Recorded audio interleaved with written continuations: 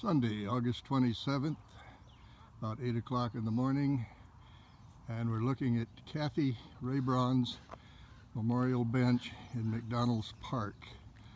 This was put in about three days ago. Beautiful morning, nice shady location.